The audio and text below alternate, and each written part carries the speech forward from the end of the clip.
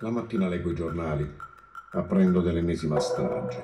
Lui ammazza lei e poi si suicida. Stavano per separarsi. Nina ha 54 anni, è insegnante, ha due figli, due occhi bellissimi in un volto stanco. Studio la scheda personale, nell'oggetto c'è scritto separazione per Gap, gioco d'azzardo patologico. Quando leggo Gap so di dover affrontare una tragedia familiare senza rimedio. Il gioco andrebbe abolito, in modo secco e senza ambiguità. Invece c'è un giro di affari che fa comodo a chi dovrebbe tutelare i cittadini e le famiglie. Papà, ti prego, non farmi incazzare pure tu.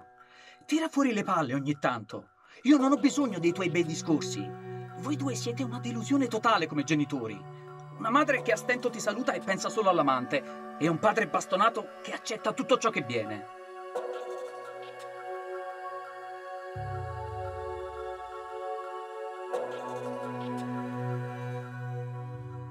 Il nome della nonna e gli occhi azzurri della madre, grandi come la curiosità che agita le domande impertinenti della sua età. Il fatto che una settimana prima abbia chiesto che avesse rubato la macchina, in realtà venduta, e domandato emozionata vedendomi in foto con un gruppo di carabinieri se mi avessero arrestato, mi ha dato due certezze.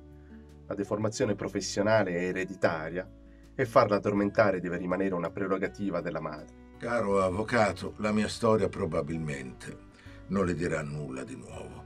Chissà quante ne vede e ne sente tutti i giorni. Ritengo tuttavia che anche le battaglie che inizialmente sembrano perse vadano combattute.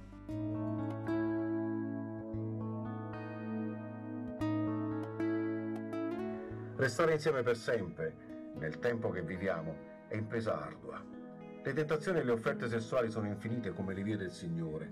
Non c'è più la crisi del settimo anno, oggi si può divorziare anche dopo mezzo secolo di matrimonio. Basti pensare che il 20% di quanti chiedono la separazione o il divorzio sono gli over 65, i quali, interrogati sul perché della loro decisione di separarsi, rispondono di volersi rifare una vita o di voler provare nuove emozioni. Verrà il giorno in cui avrò smesso di cercarti, in cui ti confonderai di nuovo tra miliardi di persone. Ma questo nostro grande amore e tutto quanto esso ha rappresentato per noi resterà indelebile, accantonato in una parte nascosta del mio cuore. Mi sono commosso.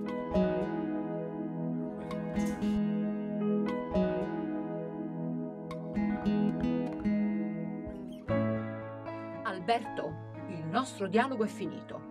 Sei sempre preso dalle tue cose, tutto questo sta minando il nostro legame. Spero solo che almeno come genitori possiamo condividere il nostro amore per Paola. Sabato nostra figlia avrà l'ultima recita in parrocchia. Da due mesi sta studiando il copione, molto emozionata. Sarebbe importante che tu ci fossi. Sarebbe la prima volta. La mia è una storia triste ed esaltante al tempo stesso. Ho sofferto tanto da quando sono nato. Sono qui per difendere la mia identità e le mie radici. Lo faccio anche per i miei figli. Mio padre si chiamava Carlo Alberto Melucci. Era nato nel 1904 in seguito alla relazione extraconiugale tra la signora Isabella D'Andrea e il conte Carlo Alberto Mele Barese. Mia nonna Isabella era sposata con Pietrantonio Melucci, che improvvisamente scappò di casa per riparare in Brasile, senza dare più notizie di sé. In quel tempo non era possibile divorziare e la confessione di un figlio adulterino avrebbe provocato seri problemi a mia nonna.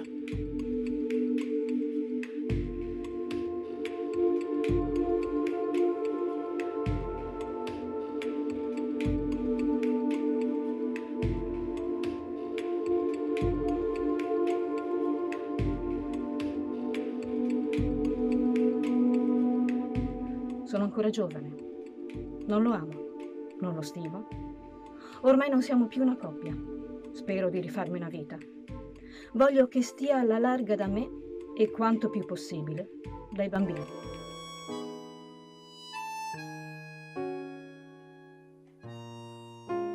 Sto male e sono molto preoccupata. Mio marito ha scoperto la mia relazione con Giancarlo, che dura da alcuni mesi. Mi ha fatto pedinare da un investigatore Sicuramente avrà fatto installare i microfoni in auto. Mi ha urlato di essere in possesso di tutti i messaggi e che li porterà dal suo avvocato. Le chat sono eloquenti. Io e Giancarlo ci amiamo davvero. È un tuo collega. In quei messaggi c'è scritto tutto dei nostri incontri, dell'intensità del nostro sentimento. Ci sono le nostre foto, i nostri progetti, il nostro amore pazzesco. Io non sono una donna per una semplice avventura sessuale. Io lo amo. Anche Giancarlo è sposato e ha due figli, come me. Mio marito ha minacciato di informare la moglie di Giancarlo. È fuori di sé. Lo capisco. E mi vergogno. Ma dice che vuole togliermi i bambini, che sono una schifosa, una folle. Sono disperata. So di aver sbagliato, ma questo amore mi ha sconvolto la vita. È la prima volta che ho provato la felicità.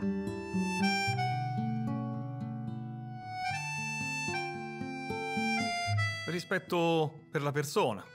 Rispetto per un amore che finisce. Ecco cosa manca nei tribunali italiani. Manca il rispetto.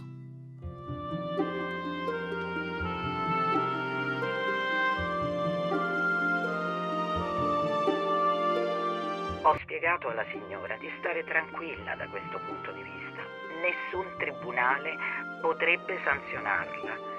Quanto al suo ruolo genitoriale, mi ha spiegato che il marito è iperprotettivo con i figli. Non vorrei che quest'uomo si faccia scudo dei ragazzi per consumare la vendetta di un uomo tradito.